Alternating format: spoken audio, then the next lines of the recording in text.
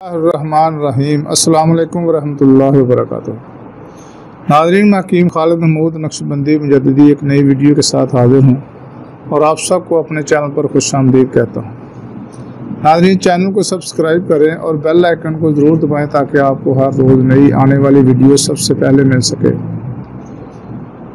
नाजरीन, चैनल को शेयर भी कर दिया करें ताकि दूसरे लोग भी इससे फ़ायदा हासिल कर सकें। वायज़ा मृत तो फ़ाहवा यशफ़ीन, जब भी मैं बीमार होता हूँ, वही अल्लाह शिफा देता है। दुआ लेने से पहले अल्लाह को याद कर लिया करे तो इन ताला उसी दुआ में शिफा मिल जाती है। तो नाजरीन, आज का मेरा मौजू है गंदक से रोगन कैसे निकाला जाता है?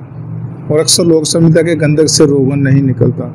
और बहुत सारे जड़ी बूटियों से ट्राई लगाते हैं तो पहाड़ों पे जो कोशिश करते हैं कोई ऐसी जड़ी बूटी मिल से जिससे मैं इनके तेल निकालूँ लेकिन इसमें ना जड़ी बूटी की ज़रूरत है, ना कहीं आपको पहाड़ों में, जंगलों में जाना पड़ेगा।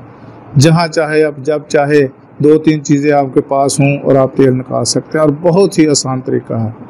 और ये खून खराबी के लिए बहुत ही मुफीद है। तो नादी दो चार चीज़ें हैं। सबसे पहले तो आपने गंदक लेनी है जितने रोगन की ज़रूरत है। आप गंदक ले लें और उसको ब्रीक पीस लें।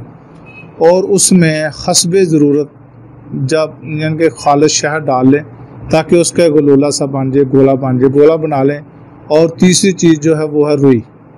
रुई जो दुनी हुई, जिसको हम कहते हैं कि जो मशीन से पिंजी हुई रुई होती है, वो ले लें और उसको सरसों के तेल में तर कर लें। और जो गोला बनाया है, आप उस पर जो है ना उसको लपेट दें। और एक प्लेट ले लें कांसी की ले लें या थाली ले लें और उसमें एक साइड पर रख के और जहाँ पे गोला हो, वो थोड़ी सी जगह ऊँची होनी चाहिए, ऊँची होनी चाहिए। इसको कहते हैं खमीदा रख कर रख कर लें। थोड़ा सा तिरछी कर लें और उसको जो गोला है, उसको आपने आग लगा दें। और शोला बुलंद होना शुरू हो जाएगा और उस गोले में से जो तेल निकलेगा, वो सुर्ख रंग का निकलेगा, जो कि रोगने गंदक निकलेगा। खुदा खास्ता कभी आप अगर वो गोला जो है उसमें आग जो है कम हो जाए तो उसमें और सरसों का तेल डाल दें। जब तक रोगन निकलता रहे, आपने ये अमल जारी रखना है। तेल हल्का हल्का डालते जाना है।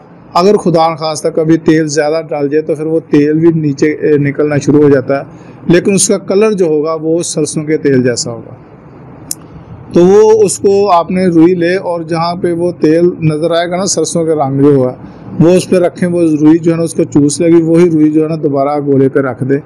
तो इसी तरह जब तक रोगन निकलता रहे, अमल जारी रखें। जब समझे कि सुर्ख रंग का रोगन निकलना बंद हो गया तो आप ये अमल इसको बंद कर दें और वो तेल जो है वो किसी शीशे की बोतल में संभाल कर रखें।